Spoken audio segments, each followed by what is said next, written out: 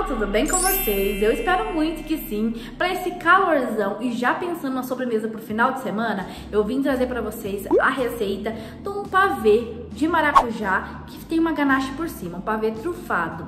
Fica uma delícia. Eu vim trazendo recipiente plástico. Você pode fazer no refratário de vidro, em potinhos individuais para vender e vai ser sucesso garantido aí, eu tenho certeza, pessoal. Essa é mais uma receita do canal e eu espero de verdade que vocês estejam gostando das receitas que eu tô trazendo aqui. São receitinhas rápidas, práticas e que todo mundo consegue fazer. Essa receita aqui é bem simples, tá? O passo a passo dela é bem simples, a gente vai fazer o pavê ali. É uma receita bem rapidinha mesmo. E eu sempre fico de olho nos comentários de vocês. Então já vai comentando aqui tudo que você quer ver no canal, que você tá gostando das receitas do canal. Deixa feedback aqui abaixo também, que a gente fica muito feliz. E já vem conferir esse pavê comigo. Bom, pessoal, no liquidificador vamos colocar aqui o nosso leite condensado, que vai ser uma caixinha de 395 gramas. Já vamos colocar aqui todo o leite condensado da caixinha.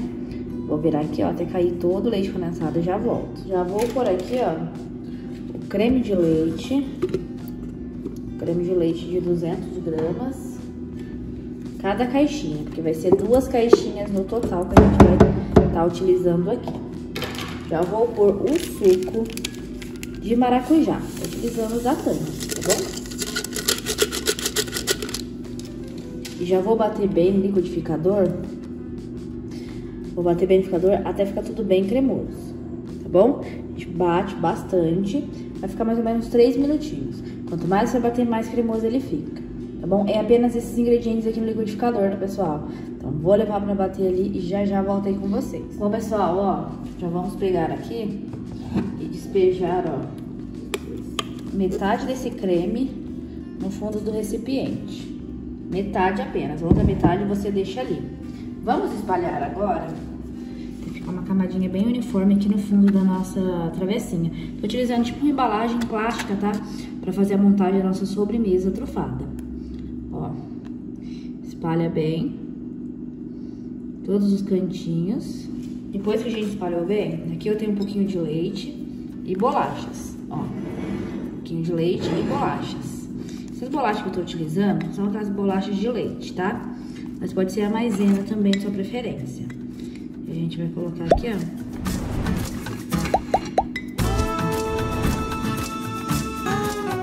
Essa camadinha no meio. Desse jeito aqui a gente vai fazer em toda a travessa. Muito simples, pessoal, esse passo a passo aqui. É preciso estar umedecendo, né, as bolachas para elas ficarem macias você coloca elas direto aqui no creme, elas vão ficar muito, muito duras, né? E vai ficar difícil pra cortar depois.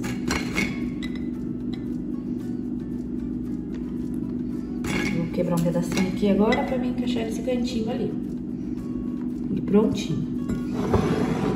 Prontinho, pessoal. Agora vamos é, pegar aqui todo o restante do creme que ficou no liquidificador e jogar aqui por cima, ó. Todo o creme.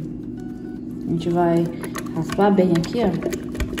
Vai tirar tudo aqui de dentro. Ó, pessoal, aqui eu tenho uma caixinha de creme de leite com 200 gramas de chocolate meio amargo em gotas. E a gente vai levar essa panela pro fogo, tá aqui na panela. E vamos levar essa panela pro fogo até esquentar esse creme de leite, essa ganache ficar bem lisinha, tá bom?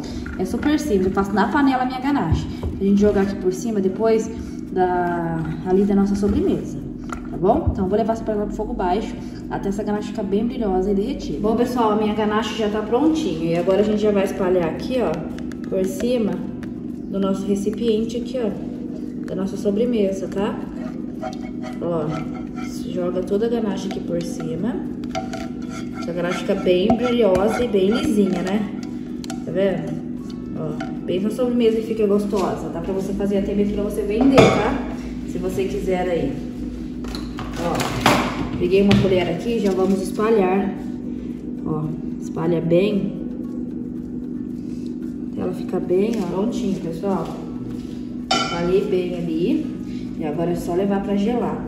Vamos levar pra gelar por volta mais ou menos. Eu vou dar uma limpadinha aqui, ó, no cantinho. Vamos levar pra gelar por volta mais ou menos ali. Uma horinha na geladeira. Por aí, tá, pessoal? uma hora na geladeira, mais ou menos esse tempinho aí. Daqui a pouquinho voltamos com vocês, até ela ficar bem geladinha, você vai perceber que ela vai ficar mais firme, tá? Essa travessa que eu tô utilizando é travessa de plástico, tamanho M, tá? Essas que tem tipo umas bandejas, sabe? O dela é bandeja, né? Ela vem tipo uma tampa por cima que dá pra colocar. Então, pessoal, vou levar pra gelar e daqui a pouco volto aí com vocês. Eu utilizei bolachas de leite pro nosso pavê. É só você umedecer as bolachas no leite e tá colocando ali, né, em cima da camadinha da nossa mousse.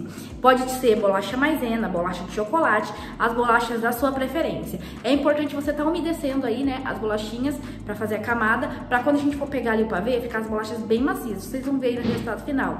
As bolachas ficam bem macias mesmo. Não fica muito molenga, não. Elas ficam macias, sabe? Você sente pedacinhos da bolacha ali, ó, que você tá comendo. Então, essa receita fica perfeita. Façam aí. Eu fiz nessa travessinha, que é um tamanho médio, mas você pode fazer em recipientes grandes aí, dobrar a receita também, que vai ser sucesso garantido e não vai sobrar nadinha. Bom, pessoal, vamos pro resultado da nossa sobremesa. E olha como que ela ficou. Bom, pessoal, ó, cortei aqui, ó. E agora eu vou tirar aqui a fatia da nossa sobremesa pra vocês verem aí certinho, tá? Ó, vou tirar aqui e olha isso. Que maravilha. Olha como que fica. Super cremoso, né? Façam aí que vai ser sucesso garantido. E a nossa sobremesa tá prontinha, pessoal. Já peguei aqui até um pratinho que é pra gente colocar aqui, ó, a fatia da nossa sobremesa dentro, tá? Vou pegar aqui, ó, uma colher, que é pra gente arrastar aqui, ó. E olha a cremosidade, pessoal. Esse pavê de maracujá, ele derrete na boca. Façam aí que vai ser sucesso garantido na casa de vocês. Ó, vou pegar aqui até pra mostrar pra você como que fica. E olha isso, ó, aqui tá a bandeja aqui atrás. E olha só que delícia, pessoal. Vocês gostam dessa combinação de maracujá com chocolate? Ó as bolachas ali, ó, na camadinha, tá vendo? Fica incrível mesmo. Só façam aí que vai ser sucesso, tá bom? No final de semana, geladinho isso daqui, fica perfeito, né? Então, ó, Façam aí, contem pra gente o que vocês acharam da dica. O feedback de vocês, o comentário de vocês é muito importante, tá? Deixa um comentário aí. Ficaram com vontade de provar as bolachas ficam bem macias, ó. Então, façam aí e eu espero que seja sucesso garantido, tá bom? Se lembrou de alguém assim que você viu essa sobremesa aqui, ó? Já manda pra pessoa que vai ficar te devendo, tá? Preparar essa sobremesa aí pra você. E olha isso, pessoal.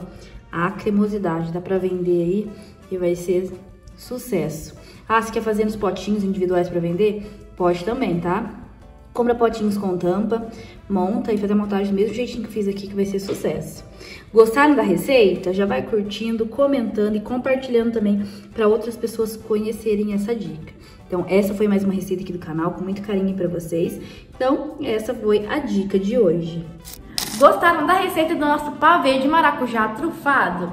Eu espero que vocês tenham gostado e que fatia linda, né, pessoal? Esse pavê ficou bem cromosão e essa ganache de chocolate por cima, então, fecha com chave de ouro. Fica uma delícia, é rápido, é prático, todo mundo consegue fazer. Não tem desculpa que vai ficar sem receita final de semana, sem sobremesa final de semana, né? Porque essa receita aqui é perfeita. Façam aí. Eu sou suspeita para falar, porque esse sabor de maracujá com chocolate é um dos meus sabores prediletos, vocês sabem aí, né? Então, vocês me apelidaram apelidaram da moça do maracujá, de tanta coisa de maracujá que eu trago pra vocês aqui no canal. Então essa é mais uma receita pra vocês aí e eu espero que seja sucesso garantido na sua casa.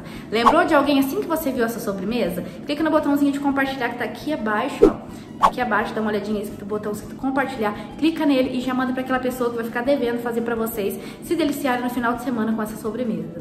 Então é isso, pessoal. Fiz com muito carinho essa receita para vocês. Deus abençoe, fiquem com Deus e até o próximo vídeo.